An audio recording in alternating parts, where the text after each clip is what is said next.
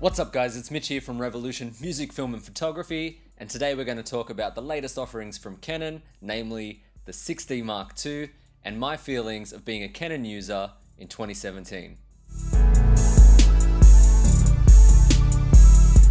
What are Canon thinking right now? Like, this is crazy. We all have many questions. Are Canon just asleep at the wheel, or are they just deliberately holding back tech from consumers? Either way, their latest offerings in the Canon DSLR line have left some dedicated Canon users feeling left out and frustrated.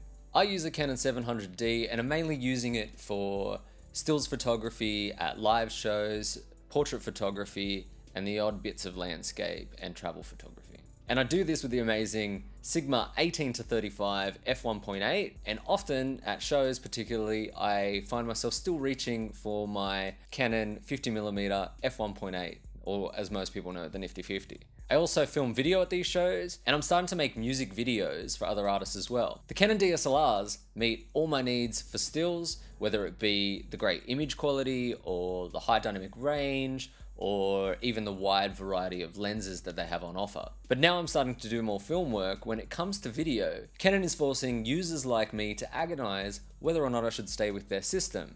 And it's all about one thing 4K. So, do I need 4K right now? No. But I am looking to upgrade my system soon, and it would be nice to have that 4K as an option.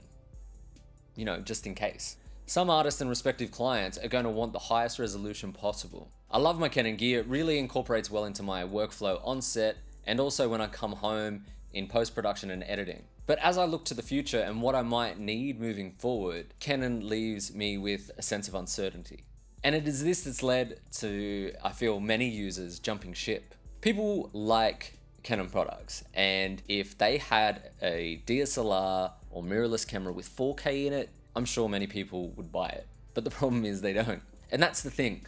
Why don't they have a camera for users like me? Are Canon carefully waiting it out behind the scenes, waiting to release a product that doesn't compromise their current quality and standards? Or is it just some kind of manipulative strategy and planned obsolescence? Either way, it leaves myself and users like me in a really tough position, looking forward to the future in our careers as content creators.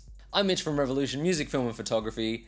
Thanks for watching this video. Please subscribe, like, and comment down below and let us know how you feel about Canon, 4K, and how it affects you in your own career.